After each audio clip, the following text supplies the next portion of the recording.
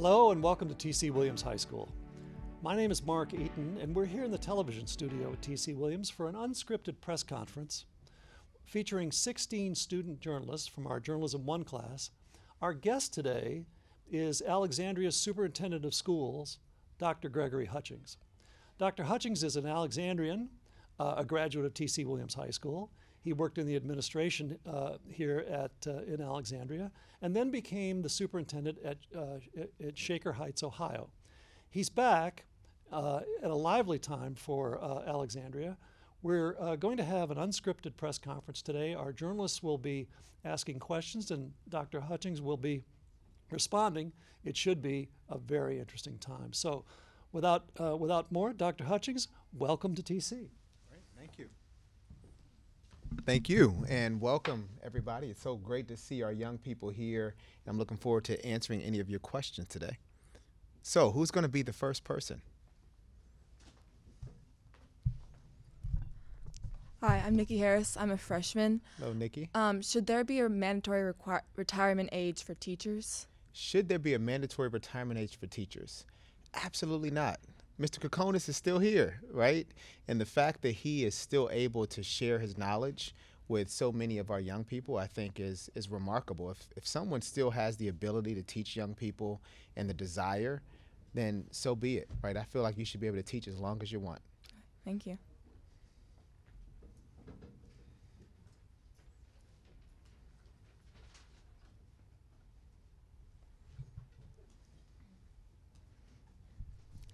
Um, I'm Rachel Wilson, a freshman. Rachel. Nice to meet you. Um, though TC already has an AP program, do you think they could benefit from an IB program? So, you know, that's a question that I used to get a lot in Shaker Heights because Shaker Heights is an international baccalaureate school division, but it also had AP courses. And the one thing I would always tell people, and I believe it here as well, is that AP and IB can live under one roof. It really depends on options for kids. You know, if our student population wanted to pursue or be, be able to have options to do international baccalaureate courses here at TC Williams, And I think we should pursue um, that path. But if they don't, then let's not. You know, I think that if we really want to provide um, alternative or multiple pathways for students to obtain their high school diploma, and it can be through AP or IB. Thank you. Yeah.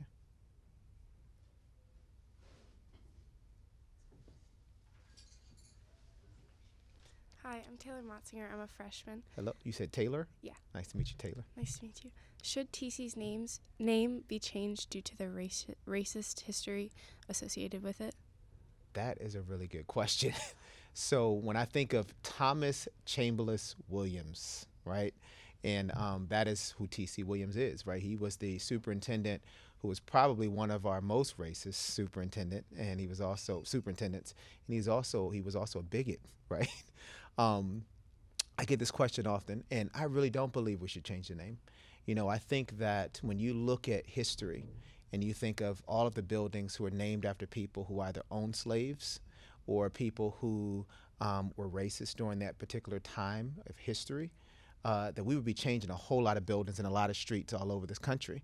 And can we really do that, right? So, how do you pick and choose who was the bigger racist or not, right? A racist is a racist. And um, many buildings and unfortunately streets are already named after so many of them so that doesn't change anything. But what i do say to this question is that now we do have a superintendent uh, who is sitting in the same seat as tc williams uh, who happens to be african american and we happen to now have a school named after him that has 114 countries represented and 119 languages. And that to me is the biggest slap in the face that we could ever do, right? Before without changing the name. Like we're showing we're taking your name and we are wearing your name and people that you didn't want to even step foot into the schools um, right here in our city because of the color of their skin they are now proud graduates of TC Williams, and I'm one of them. Uh, so I say that that is the biggest way for us to get back uh, at at TC Williams.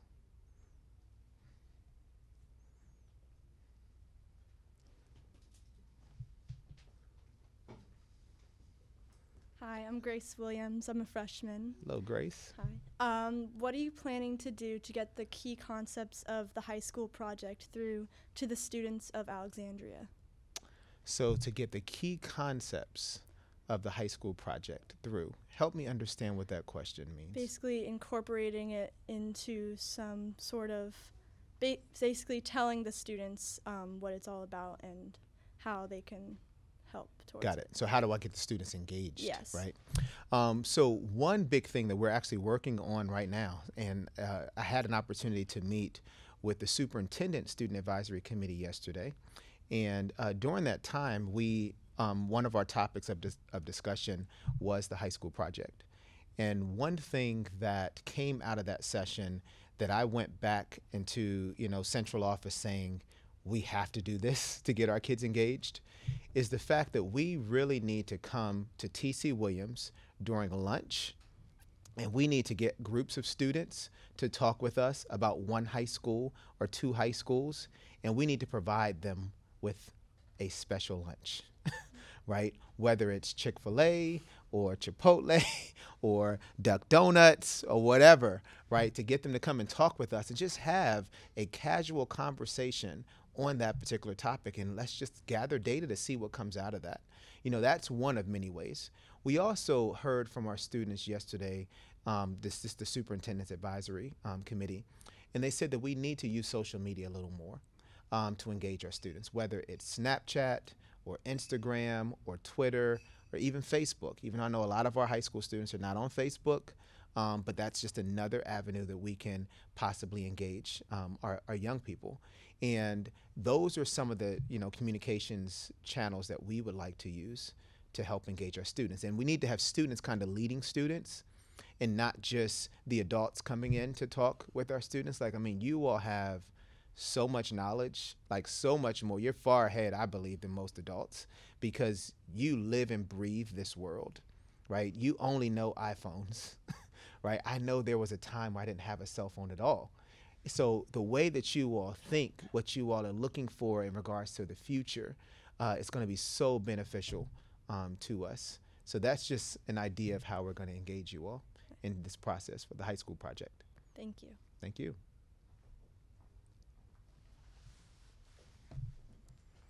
Hi. Um, do you think students from Alexandria should be allowed to attend Thomas Jefferson High School?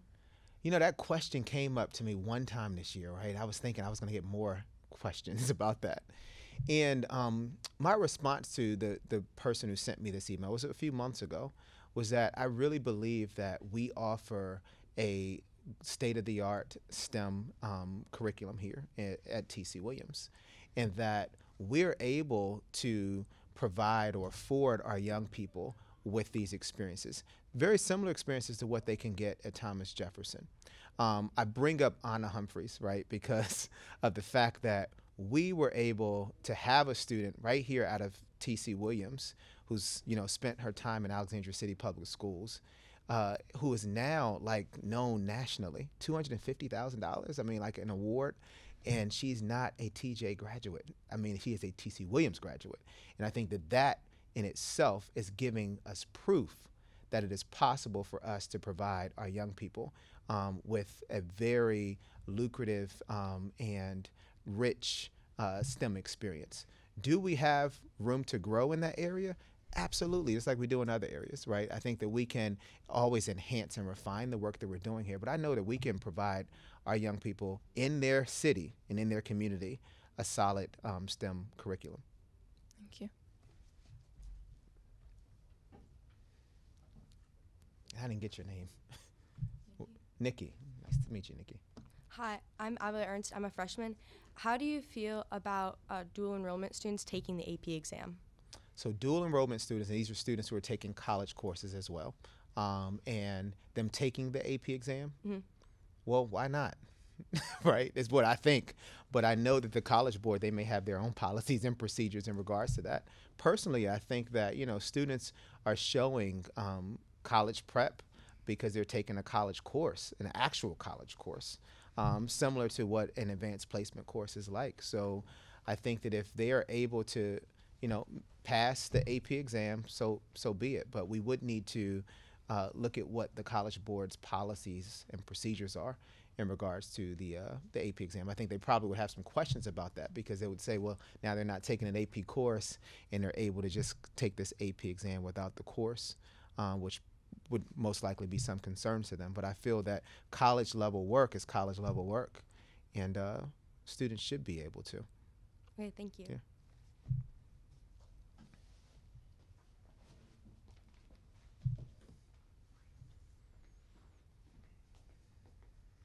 Hi, I'm Stella Williams. I'm a Hello. freshman. Nice to meet you. How do you plan to decrease truancy at TC? How do we plan to decrease truancy at TC? Uh, well, you know, I think that kids will come to school if we make it a place that you want to be, right?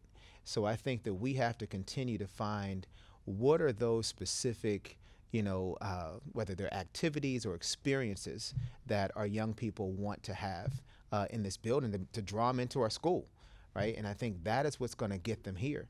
Uh, and then once we get them here, so we get them hooked and we get them coming to school, how do we keep them engaged throughout the day so that they understand that it is meaningful, it's purposeful, and their experience at TC Williams is going to help them w- with whatever they choose to do uh, in their future. But I think engagement is going to be key and determining what is it that makes you want to come to school so that we can make it a place you know not just of learning but a place where you feel hey this it's the place that i need to be during the school day and then how do we find ways for our young people um, to have some alternative options on how they do school so for example some kids may just need a half a day right and they may want to do something else like work for the other part of the day we need to be able to offer options like that so that we are customizing the instructional experience or the educational experience uh, for our young people. And I think that will definitely uh, tackle some of our truancy concerns. Thank you. You're welcome.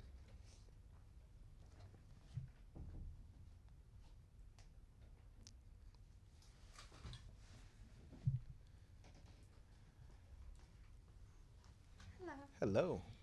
I'm Jumana Hamid, and I'm a sophomore. Jumana. Yes. Okay. Um, what are your plans to make TC a more sustainable and a green environment? For example, um, like more clean kitchens and more clean bathrooms. Yes. So I, one, I think that's a good, a great question. I, I know that when TC, this current TC was built, um, was it, was it 2008? So about 10 years ago, a little over 10 years ago. Um, you know, we were really keeping that whole LEED, LEED and uh, green um, mentality uh, as a, at the forefront. Excuse me, when we were building the school. I think us educating our students on environmental issues and how you know we can meaning that our young people in our schools that they can also be a part of ensuring that we're eco-friendly and that we're making you know wise economic and environmental decisions for today uh, is going to be key I also think making sure that we are looking like, for example, our recycling program. And this is something that I've heard throughout my entire um, year, this first year here as superintendent, that people see recycle bins and they use them just like normal trash cans, right? No one understands the difference between a recycle bin and a trash can. And that's meaning that we haven't educated people on that.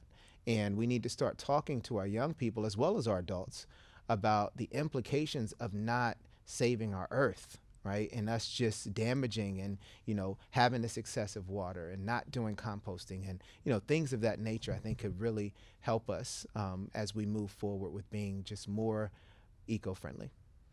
And um, how can you, like, what are your plans for the kitchens specifically? Because how to have more like healthy foods Yes. for the kids. So one thing that um, which is very interesting, you bring that up because uh, our school nutritional office, we're having discussions right now on how do we hire a chef to come in and help us put our menus together, so that our so that our meals are healthier for our young people, um, and not only are they healthier, but because we have 114 countries represented, that we offer options for um, you know for our students that may have certain cultural boundaries or you know certain types of foods that they may not eat based on religious or cultural purposes. Um, so how do we make sure we still provide them with food um, that they're going to want to eat here in our schools? Uh, so our school nutrition office is actually working now to enhance uh, how we do our menu options uh, within our schools to make them not only healthier, uh, but also more options for all of our young people. Okay, thank you. Thank you.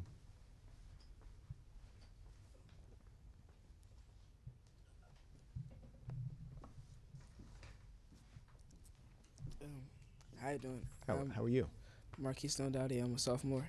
Okay. and my question is, um, how do you view teen vaping at TC Williams? Teen vaping. Oh my gosh. So a teen vaping, you know, th- those are the elect, the electric cigarettes, right? Um, with the, a lot of the smoke that comes out. One, you know, smoking and smoking is really how I feel in schools. I, I genuinely believe that, especially having my daughter come here next year, she's going to be a ninth grader here at TC, and um, I think there's a there's a place and there's a time for that, and school is not the place and time for vaping. And I know currently in our school board policy, it talks about, you know, smoking on campus or smoking in our buildings. Um, vaping is, you know, it's, it's an iteration of, of smoking and it should be prohibited from our schools as well. Um, so I, I, I don't agree with vaping uh, in schools. And I think that it needs to be viewed upon the same way that we look at cigarettes in, uh, in our schools.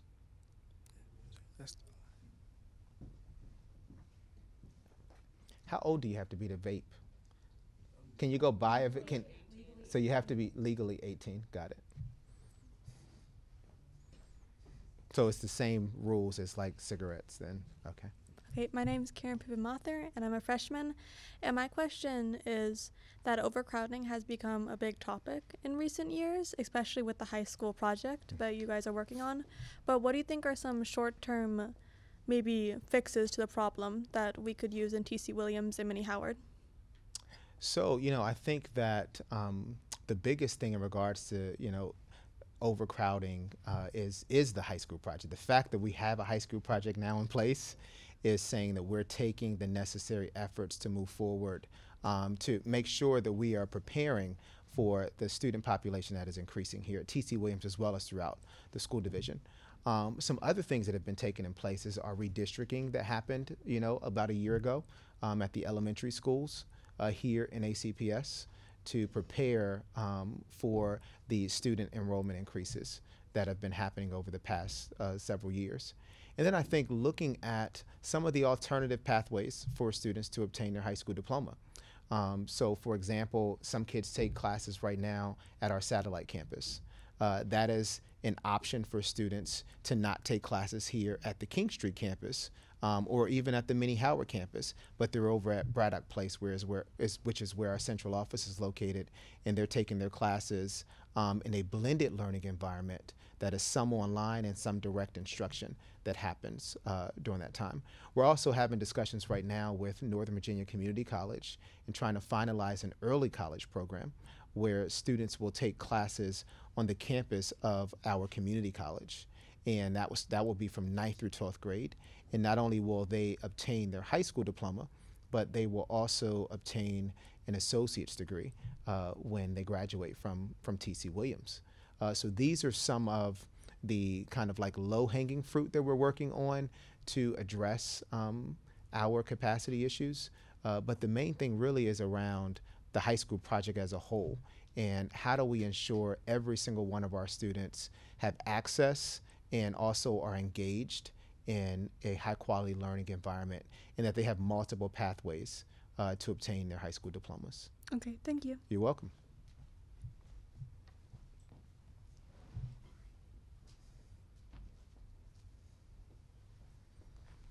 Hi, I'm Hello. Taylor Motzinger. I'm a freshman. So, um, la- uh, last year in GW, there again, like you were saying, um, we need to focus on being eco-friendly. A lot of people either didn't know how to recycle, or a lot of people said that that um, GW just didn't recycle. So, um, I know that a TC does recycle, but how? What are you doing to um, help recycling recycling be prominent in GW? Yes, so we're making it a priority for our entire school division that regardless of which school we're at, we are part of a recycling program.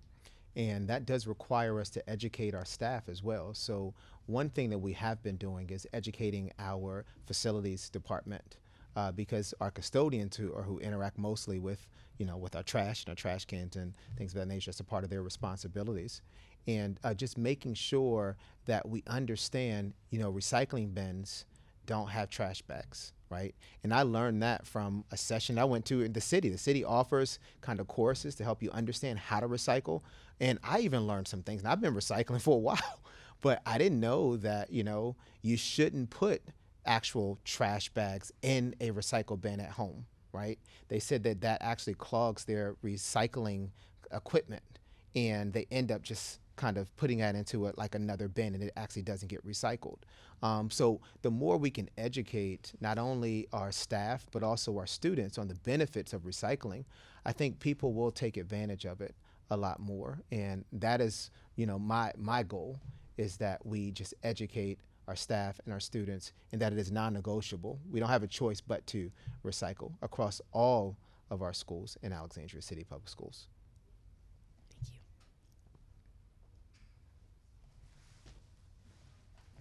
Hi, Nikki Hello. again. Yes. Um, what are you doing to reduce turnover of principals? Yes, that's a good question. You know, um, especially since the fact that we've had so many principals and so many superintendents, right? Because I'm the fourth one in five years, which is a problem, I believe.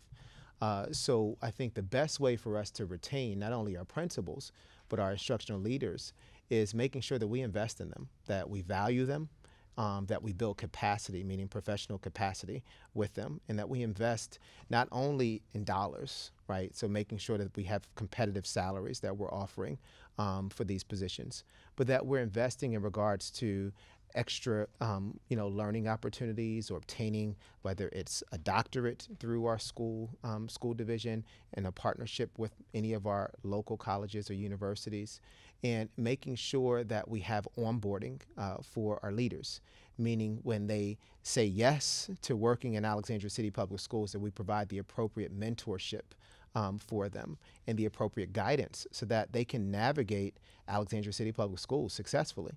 Um, and that can be through executive coaching or through mentorship programs that we're looking to offer. We're um, actually in the works right now or in the process of finalizing um, our leadership coaching model um, that will go into place next year. And this was a part of our push to help us retain uh, our instructional leaders, including our principals uh, within our schools. Thank you. You're welcome.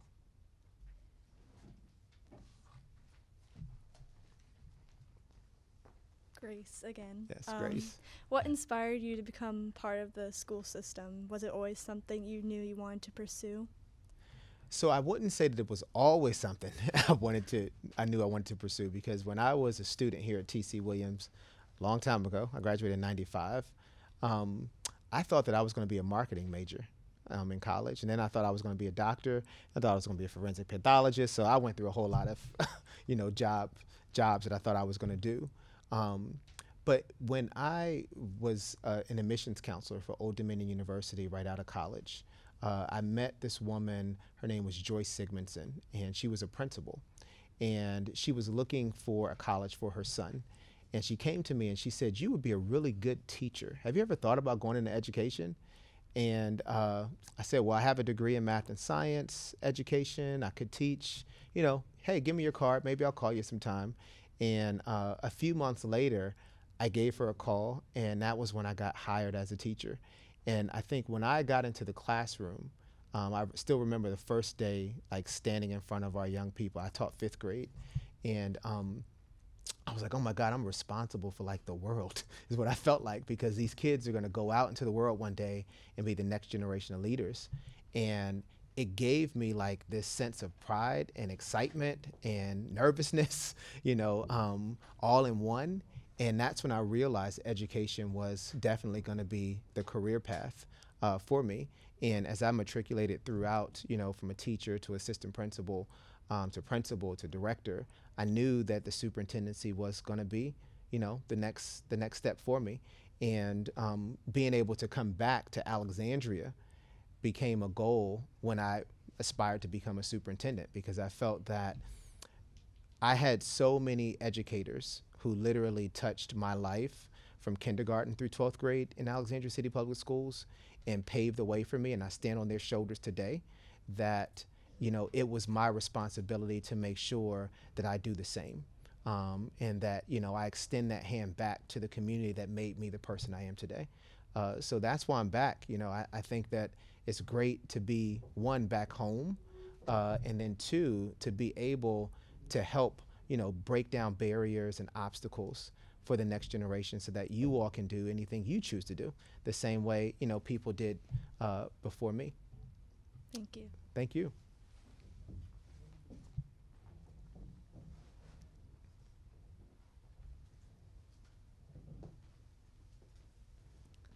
I'm, Rachel Wilson again. Yes, Rachel. Um, because of recent events in schools, school safety has been talked about a lot, and I was wondering if there's any precautions that you want to take to ensure safety among ACPS schools.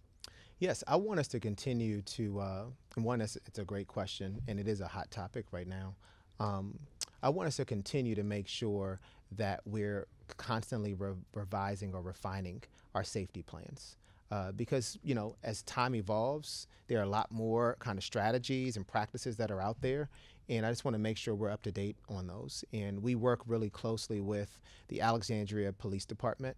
Um, I, fortunately i get to meet with uh, chief brown you know throughout the year as well and talk talk about some of our safety concerns or safety practices that we need to put in place.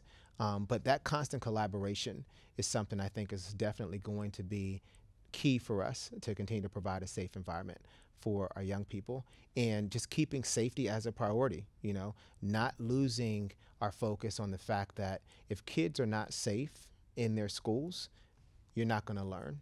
And if we have to keep that at the top of our priority list uh, and ensuring that every day you come to school and your parents or your guardians, you know, allow you to come into this building and we're responsible for you, that we're doing everything within our power to protect you. Thank you. Thank you.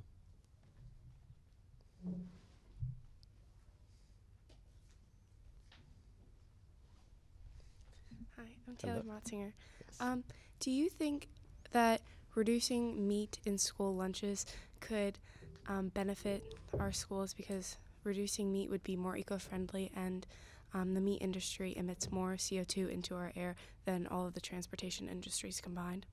Wow, that was a deep question. You know, I think that one is a tough one. And I say that because, um, you know, as we try to respect everybody's religious beliefs or everyone's personal beliefs around whether meat is good or bad, you know, some people are like, as much meat as you can give me is what I want, right? You know, some people think that way.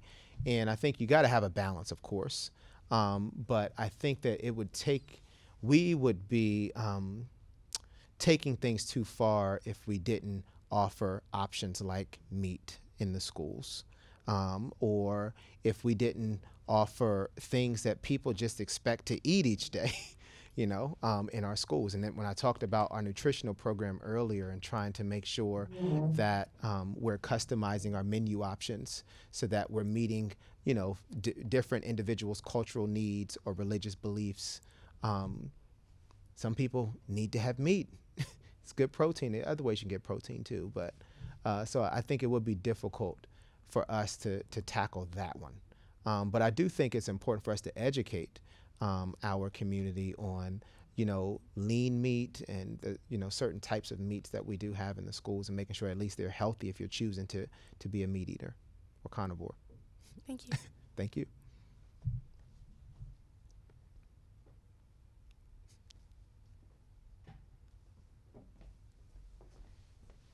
Hi, um, Hello. Sophie Lennon is senior. Uh, I was wondering how we can ensure that all students are put in the proper grade level. So how can we ensure all students are put in the proper grade level? So elaborate on that one a little bit. As in, for example, there's a senior and she cannot do basic math, um, cannot read well or write well, and she's supposed to be graduating next year. I mean, next month. So how can we ensure that all students, instead of having like you pass this test, here you go into the next grade level, how can we ensure that like um, we are more um, like more strict and making sure that they actually know the material and can go on to the next level mm-hmm. with that knowledge. Yeah, so I think you know what really comes from that is um, the question regarding equity, mm-hmm. right? And for for for the school division, equity is about meeting our students where they are and not necessarily where we want them to be. And with that, uh, that means that if we have students that are not reading, it is important for us to meet them where they are and provide the necessary supports so that they can get to where we need them to be. Because if you can't read, you can't learn, right? And I think that, you know, a part of our assessing kids, and it's not that I, that my, um, you know, that I advocate testing, you know, overload, but I think assessment does have a place, you know, in education because it allows us to see where kids are, you know, and if they're making progress academically. And what I think we need to be able to do is when we're assessing students and we're seeing that they're performing below um, proficiency levels, that we are putting support plans in place so that they don't continue to get further and further behind. Um, I think that we need to have summer learning opportunities for our students to catch up and after school opportunities.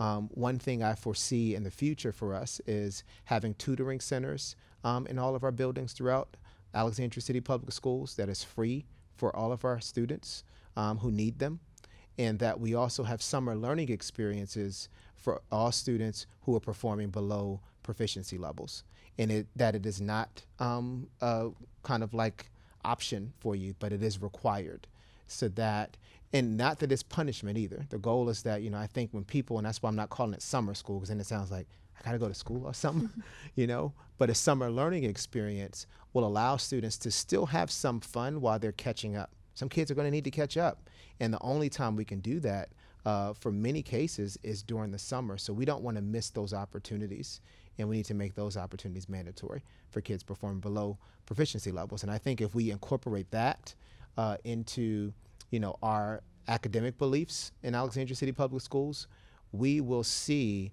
uh, our achievement gap narrowing, and we'll see more students graduating um, within four years here at TC Williams. Okay, um, as a follow up question, our teachers have a lot of impact on how we learn and how we um, succeed in life in general. So, how can we make sure that the teachers that are in TC are committed to their students and don't um, don't just work here as a paycheck? They're actually committed to making Yes. sure students pass. Yes, and I think that you know that that is a philosophy I we need to have for all of our employees, right? And that is the number one reason we should be in this work, and this is one of the number number one reasons I'm in this work is for our kids, for our students, right? You all should be our top priority, and if you you know are in this business to get a check, you know this is not the right school division to work in. And I think we're going to have to continue to set those expectations.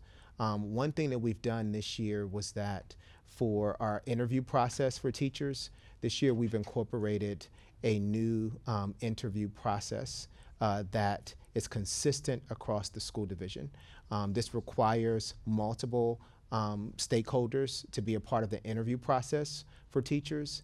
It also requires teachers to do some form of demo um, kind of lesson. So they're showing that they know how to teach with our own kids, right? When kids are available to be in a classroom for them to teach in front of. Uh, so it gives them an opportunity to, one, see the population that we serve here in the city of Alexandria. And then, two, for us to see what type of teacher they are, right? And it's not that we need to have cookie cutter teachers and every teacher should do the same thing, because you should bring your own personality, your own style um, to the teaching environment, because I believe it's an art as well. Um, but we need to have some clear expectations that students have to be the number one priority um, if you're going to work in Alexandria City Public Schools. And we have to make sure we're providing teachers with the necessary supports so that they can always meet the needs of our kids um, in their classrooms. Okay, thank you. All right, thank you.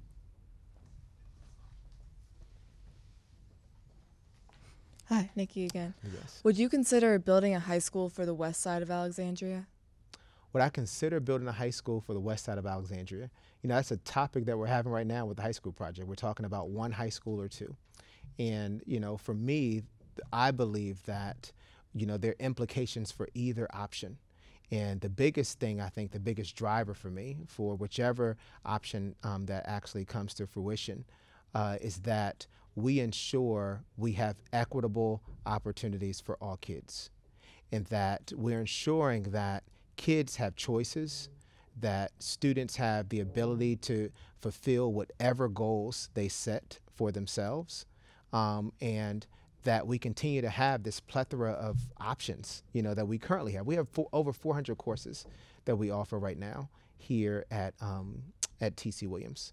And that to me is, is a huge gift. Every high school doesn't offer that. Every high school doesn't have this many AP courses that kids are able to sign up for. Um, every high school doesn't even have dual enrollment, you know, or thinking of having an early college uh, where you can obtain your associate's degree before you graduate um, from TC Williams High School. So we want to continue to be able to to offer these options, and I think the main driver is how do we ensure we're providing an equitable learning environment um, for all of our kids, and that we are not putting anyone in the situation of having, uh, you know, one school that offers one thing, another school that doesn't offer, one school that looks a certain way, another school that looks different. You know, we need to really accept and embrace the gift of diversity that we have in the city of Alexandria because um, it is truly a gift for us. Uh, and we want to try to make decisions that won't jeopardize that. Thank you. Yeah, thank you. One or two more? Hi. Hello. Katie Vestal, a freshman. Nice to um, meet you. Do you feel that SOLs are an efficient way to test students' knowledge? So, you know, I think that SOLs are just one data point, right? Mm-hmm. I think that for kids, we need to have multiple, for students, we need to have, because you all aren't kids anymore, but for students, we need to have multiple data points. Mm-hmm. And we can't just rely on the SOL. And I think that that can tell one piece of the puzzle, but there are so many other more pieces of the puzzle. And um, we have to determine, okay, well, what are those other, you know, academic components that we need to look at to determine students' academic progress, Mm-hmm. whether it is how they interact with other students, you know, what type of engagement they're a part of that's outside of school, because I think that is an important factor as you're going out into the real world. And what are some other ways that you can demonstrate mastery? You know, some kids and some students are just not good test takers. I know I was one of them when I was in school. I always dreaded taking tests, right? But I knew I had to do it. Uh, and I was fortunate I was able to pass my test, but it took a lot of effort for me um, to, to pass those tests. But if you set me down and you asked me to explain, um, you know, any type of material, I would be able to explain it to the teacher, you know, one on one. And, uh, you know, I think we need to put all those uh, learning styles into consideration when we're determining how well a student is or how much academic progress a student has made. So SOLs is one data point uh, for us. We need to use multiple data points to determine uh, how successful our students are. Mm-hmm. Thank you. You're welcome.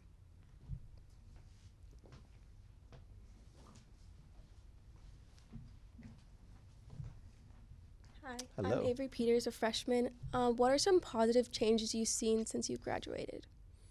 So some positive changes that I've seen since I've graduated from TC. So I graduated in 1995, a new building. That's one uh, because I remember at the old building we would have to run when it was rain. I ran track, so Mhm.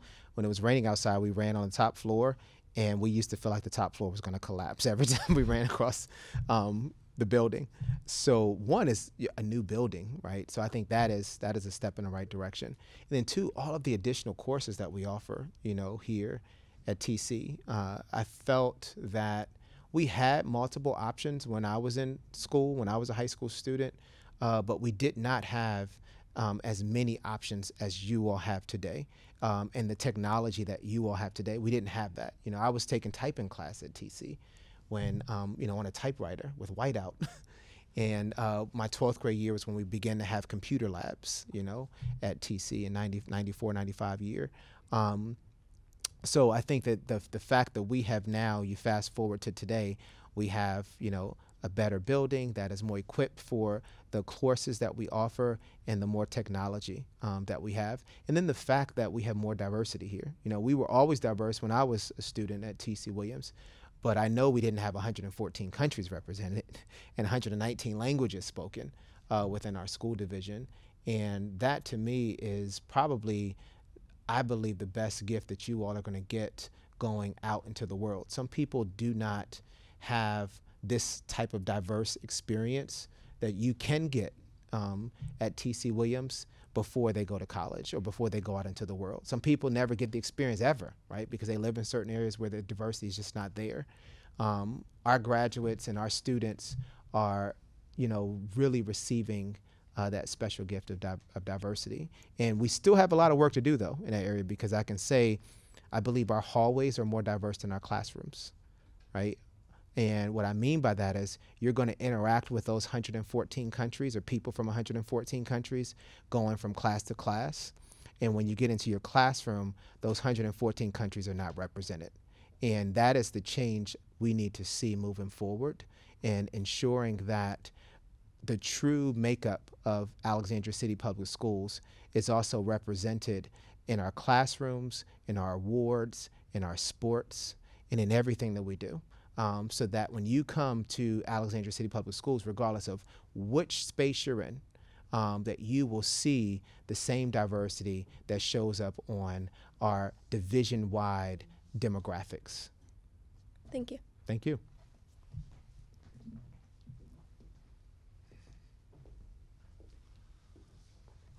Well, Dr. Hutchings, thank you very much. Uh, we appreciate your spending the time. It was an enlightening discussion. And we have a, a, gift for you. We hope that as you have your morning coffee or tea, that you'll have it that you'll have it in a in a theogony mug in a theo- or water, yes, that you'll have it in a theogony mug. So thank you very much. It was very enjoyable and, and very informative. And so thank you, journalists, and thanks to everyone watching. So long until next time from TC Williams High School.